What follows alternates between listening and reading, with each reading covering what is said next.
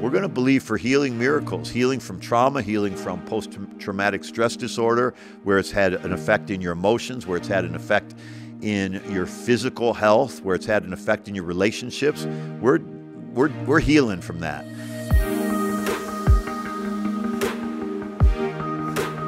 Welcome to another episode of Think Like a Champion. This podcast is dedicated to helping you win in every way and enjoy every day. And you are going to win because God has given us every tool that we need to experience victory in our lives, to experience lasting victory in our lives. And it starts in our thinking. As a man thinks, Proverbs 23 7 says, As a man thinks within, so is he. Whatever's on the inside of you is eventually going to come into the outside of you.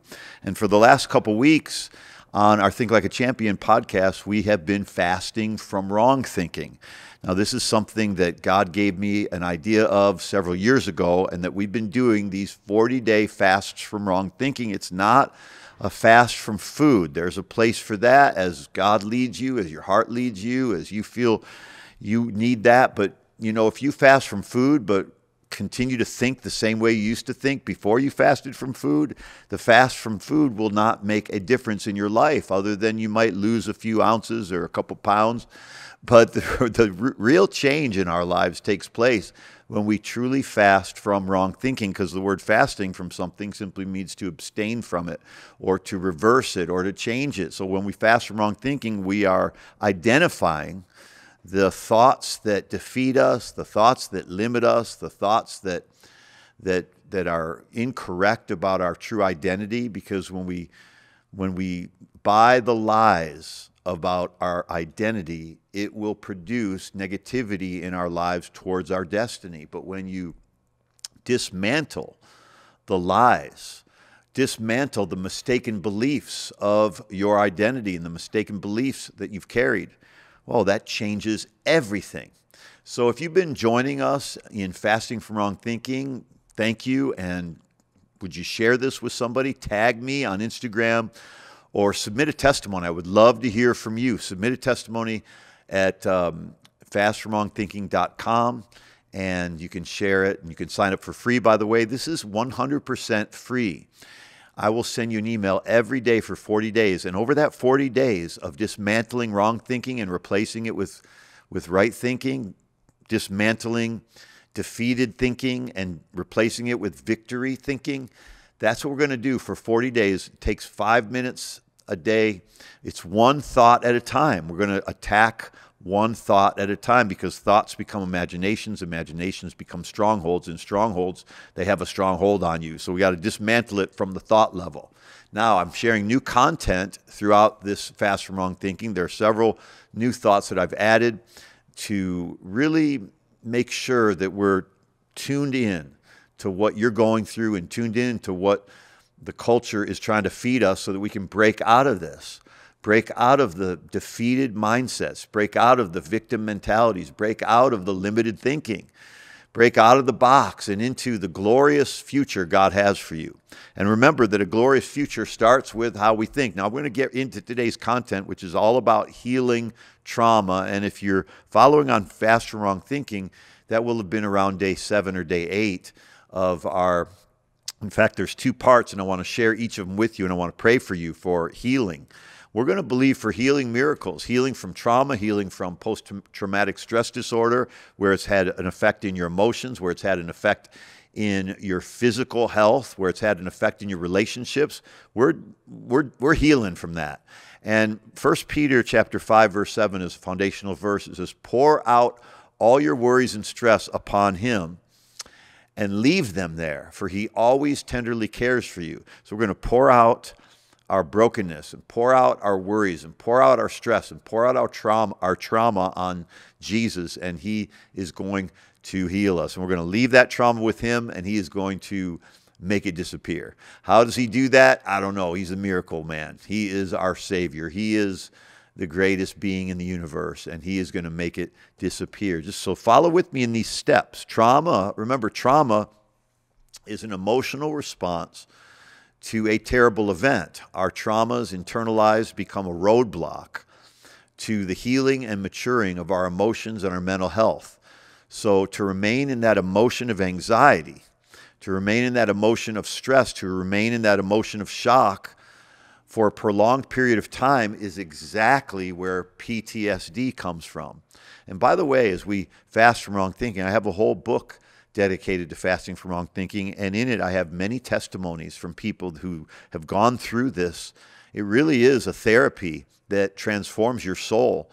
And um, I've had people that have written me that have said they were completely delivered and healed from PTSD after suffering for years or decades. We've had people healed of physical diseases, emotional uh, depression, worry, anxiety. Boy, anxiety is a real big one, and we've been tearing that stronghold stronghold down in people's lives, and people are truly getting free. And the you know the curse of unhappiness is something that's getting reversed in people's lives and they're finding real joy. Now so let's break this down. Uh, one of the primary sources of trauma is emotional abuse. Um, and this is also um, it's further inflamed by physical assault sexual assault uh, sudden death of a loved one see some things that cause trauma are natural things that just happen, the death of a loved one. But some things are from an immediate, uh, forceful entry of something that's invasive into your soul or into your body. So, sexual assault, physical assault. Um, these are some of the sources of trauma. Witnessing um, your parents fighting and, and, and uh, physical abuse and screaming. And we think that's normal sometimes in families. And sadly, it is normal in many families. But we need to we need to make it abnormal by healing from the trauma so we don't pass it down to our children and our children's children. Now, some of the symptoms of post traumatic stress disorder and trauma is being easily startled, feeling tense, being on guard all the time, always on edge, having, difficult con- having difficulty concentrating, which sounds like me a lot of days. How about you? Having difficulty falling asleep or staying asleep, feeling irritable and and having anger and uh, aggressive outbursts, engaging in reckless behavior. Now, I know this is a description of every teenager in the world today, it's a description of every adult in the world today. These symptoms, that's why we need to get to the root of our trauma so that we can truly live healthier lives. Um, so here's how we have to do we have to change it from the inside out. Now, listen, our foundational verse for this, for my life, for our ministry, our Think Like a Champion, our Champion Youth Revival, our Hype Young People Revival, our church life. Um, all of all of it is rooted and founded on this verse in Ephesians chapter 1 verse 11. I want to read it to you in the Message Bible. And it says, "For it is only in Christ that we find out who we are and what we're living for. It's only in Christ that we find out who we are and what we're living for." Part of the path to healing trauma is to get busy with your purpose. So he, he tells us that it's only in Christ in Ephesians 1:11 that we find out who we are. So now who we are is our identity.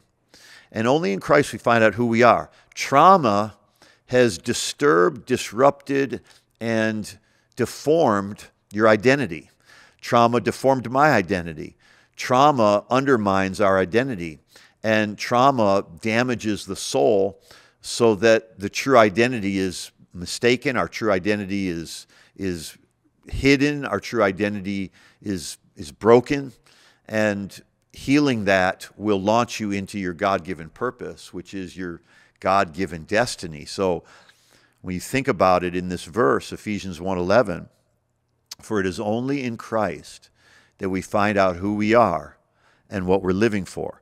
Trauma disguises who we really are. Our problems disguise who we really are. Your problem is not your identity, your problem is not who you are.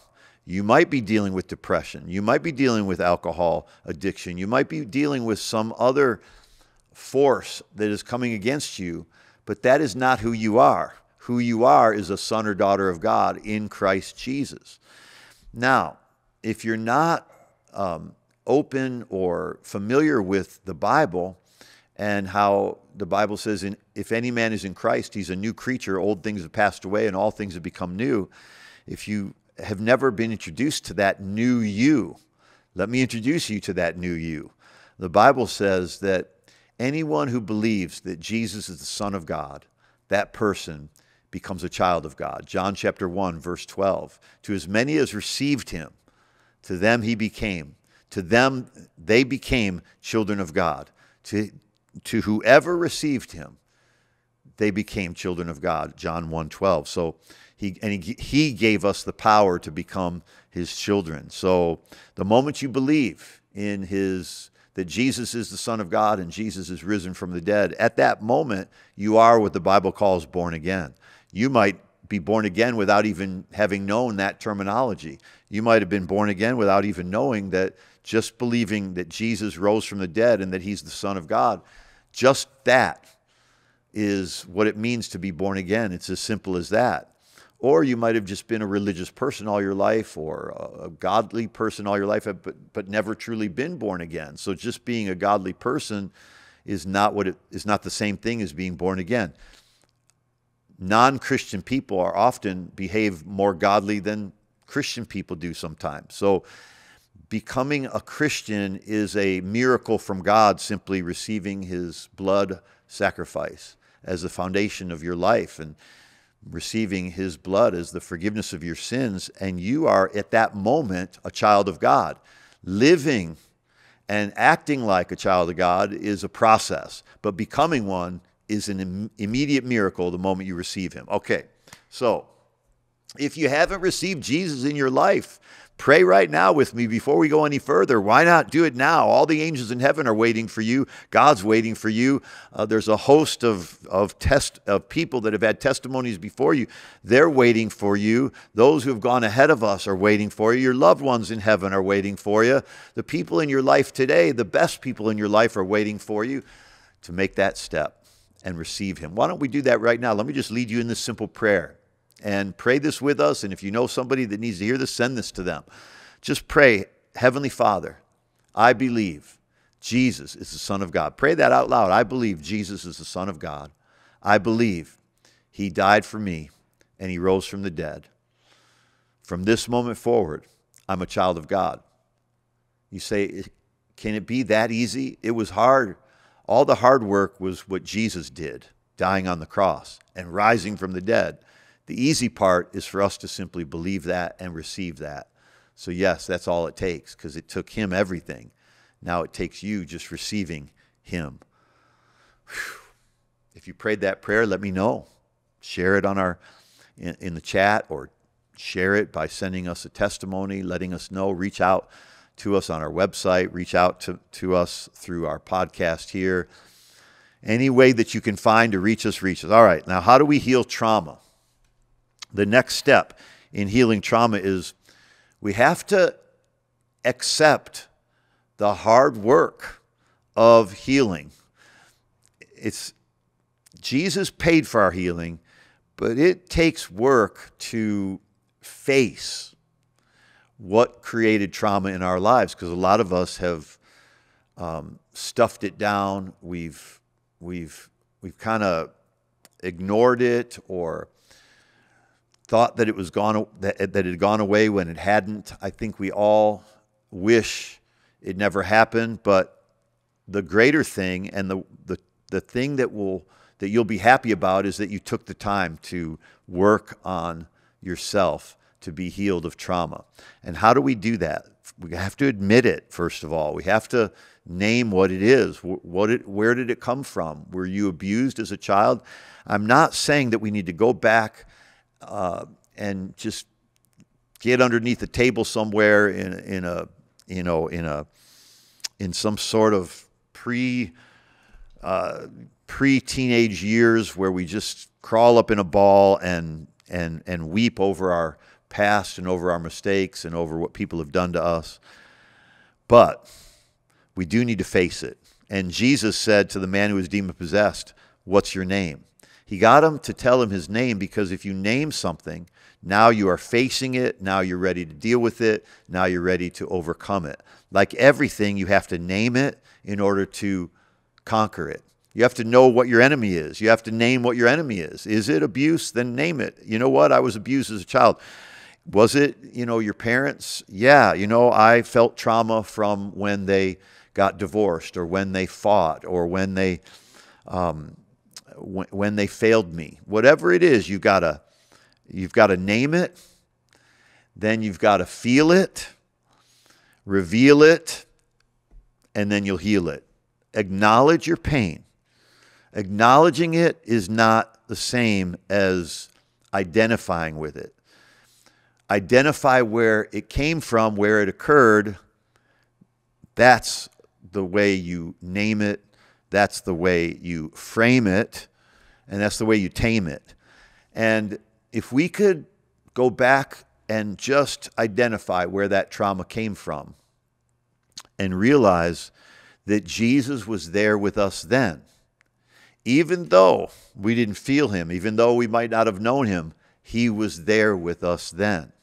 If you would just open your heart up to him, because I believe that the healer, Jesus, is going to heal you today in your deepest place. The sins that we've all committed, they've been washed away, but the healing is in the deepest, the deepest part of you. And what we need to do in order to feel it, reveal it, and heal it, we have to begin to look at the Bible in a different way than the way that we've looked at it before. We have to see the Bible as a cure not as a command. Now, there are important commands in the Bible, but we can't see the Bible as a rule book of commands. We have to see it as a cure. And as our soul cures, obedience to God becomes a reflex of a healthy soul.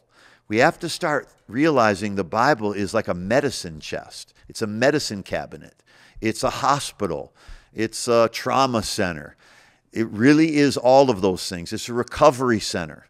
The Bible is a cure, it's a scalpel to delicately open up the soul and create a path or a roadmap for the soul to be healthy and healed. We have to see the Bible as a cure. We have to see the promises of God as a cure. We have to see it, that our relationship with God is a cure Christianity and a, re- a real relationship with God was never meant to be a crutch.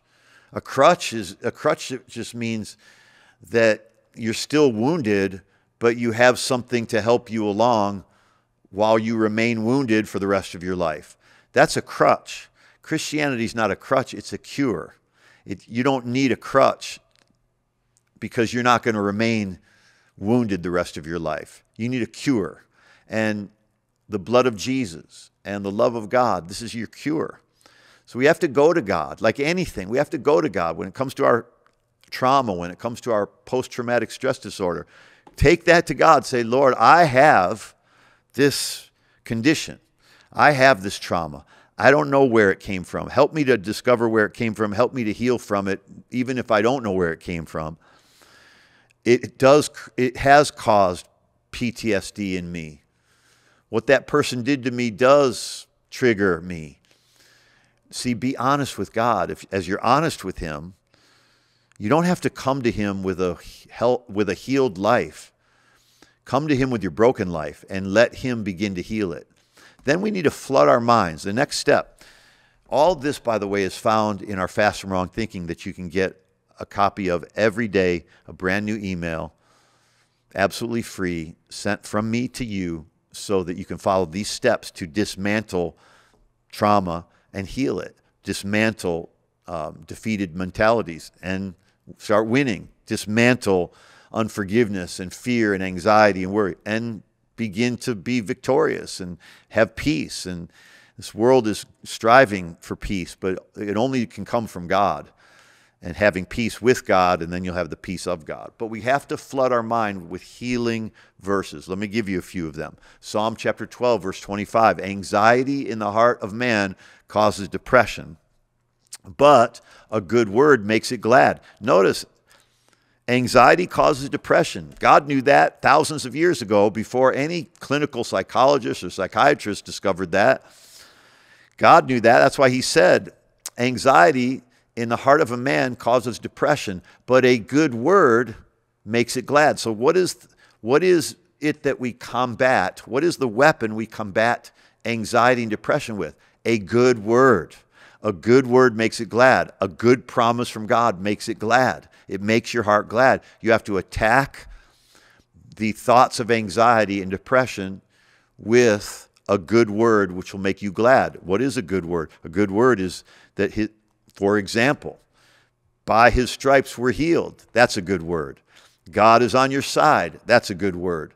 No weapon formed against you shall prosper. That's a good word. All the promises of God are good words. And as we flood our mind with these good words, it makes us glad. If you're not glad, if you're not in a somewhat regular state of gladness, I don't mean that you're cheesy. I mean that you are in a consistent habit of being happy or glad though there are tough days, though there are tough weeks, those, though there are tough seasons, in general, your heart is glad. If it's not, if you will flood your mind with good words, promises from God's word, your heart will have no choice in the matter. It will become glad. I wish we could see that the mind and the brain is the boss. The mind and the brain is the CEO of your life. The body and your emotions are your servants, your employees. Call it whatever you want. But the mind, the, the brain is the boss. The emotions and the body has to simply obey the boss or it's going to get fired. And too often we, we just we don't realize that it is. When you put healing in, when you put good words in your soul, flood your mind with these promises, your heart will become glad. This is, the, this is a secret to, to any consistent thing in your life. You've got to flood the mind, flood the mind, flood the mind. What do doctors say? Flush your body with, with water, flush your body with good vitamins, flush your body with good food, with good health. Health will come on the other side of what you put into your body that's healthy. In the same way, emotional health will come as you flood your system with, with healthy promises, healthy thoughts. That's what fasting from wrong thinking is all about. That's what Think Like a Champion is all about. All right, here's another great promise that will bring gladness to your heart. Jeremiah 17, verse 14 Heal me, O Lord, and I shall be healed. Save me, and I shall be saved. For you are my praise. Or how about this? God says, For I will restore health unto you, and I will heal you of your wounds, says the Lord. In Jeremiah 30, verse 17. How about this one in Psalm 147? He heals the brokenhearted and he binds up their wounds. Psalm 147, verse 3. He heals the brokenhearted and binds up their wounds. Who is this who heals the brokenhearted and binds up their wounds?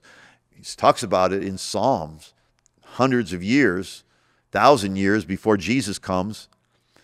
But who is he talking about? Jesus is the healer of broken hearts. This is, this is our next point. Jesus is the healer of trauma and the traumatized heart.